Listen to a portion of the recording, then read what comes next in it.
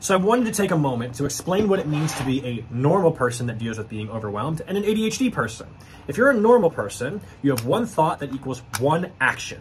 But when you're an ADHD person, you have a ton of thoughts. And when you have all of these thoughts happening all at once, you're having misfiring actions. And so you want to do one thing, then another thing, and before you know it, they conflict with each other, and you don't know where to start with ADHD.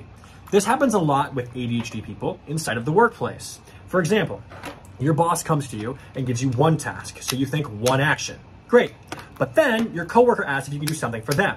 And then your girlfriend or your boyfriend calls you and says, hey, remember to pick that thing up at your job at the end of the day. Don't forget it. Don't leave it in the office again.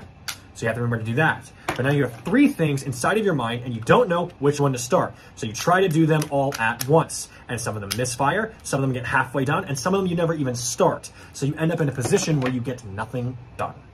This is why ADHD people will oftentimes sit, stare at nothing for 30 minutes, and just be like, what the hell do I do?